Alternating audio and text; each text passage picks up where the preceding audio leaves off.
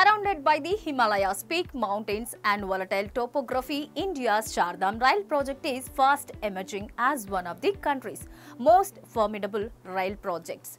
Executing the project requires state-of-the-art engineering to traverse the integrated landscape to connect holy pilgrimage centers.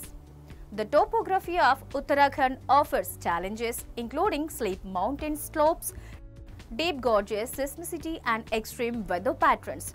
With the onset of summer, increasing temperatures pose their own challenges.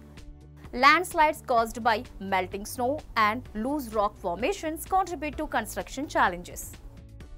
MEIL is carrying out two significant segments of this ambitious project, which include the construction of tunnels and bridges. We reached a major milestone when we achieved the breakthroughs at the close to 9.5 km main and escape tunnels in segment 7B, connecting Narkota and Tilaniyad, Sumerpur in Rudraprayag district. Using the new Austrian tunneling method, this method enables tunneling under the Himalayan rock safety and efficiently while keeping the surrounding environment intact to the maximum extent. Currently, tunnel lining works are underway in this segment.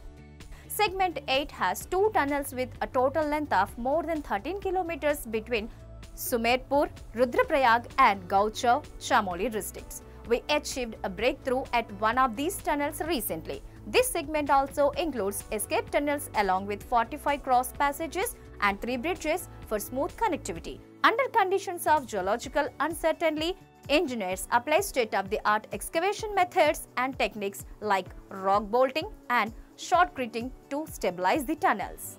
With the thaw and summer producing rock movements, constant monitoring is needed. Automated systems monitor geological movement in real time, enabling engineers to adjust accordingly. Despite the challenges, the construction work is progressing at a rapid pace. With each milestone, MEIL is beating the impossible and making traveling to Chardham sites easier and safer.